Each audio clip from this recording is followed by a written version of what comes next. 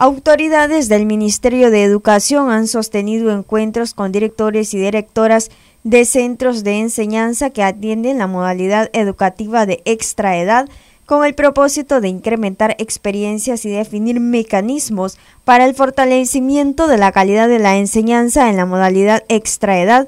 Dichas capacitaciones se han llevado a cabo en el Instituto Ángel Ortiz Guillén de la ciudad de Chinandega. Se observa que más del 20% del estudiantado en esta modalidad de la educación son personas con discapacidad. ¿A qué se debe? Hay varios factores uno sobre protección de la familia y el otro puede ser lo contrario, la displicencia de muchas familias que a la hora de que tienen un niño con discapacidad en su seno, simplemente no priorizan su educación.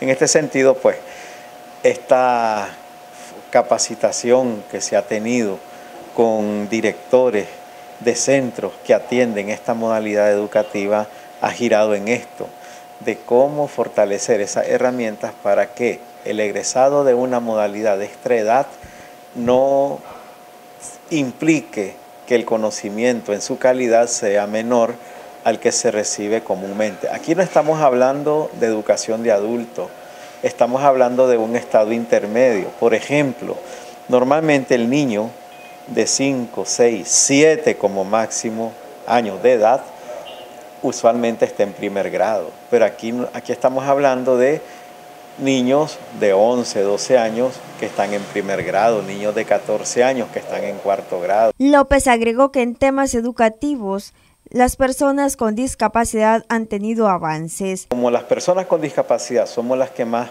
padecemos esta situación de estar en una condición de extredad, cuando ingresamos al aula de clase, pues se visibiliza en este tipo de encuentros y al visibilizarse la realidad de la persona con discapacidad tiende a mejorar. Sí, aquí el llamado pues siempre a la familia, porque es donde generalmente se vulneran más los derechos de las personas con discapacidad, a que nos concienticemos y que cuando en nuestros integrantes haya un niño con discapacidad, le prioricemos su educación al igual que al resto. Noticias 12, Darlene Telles.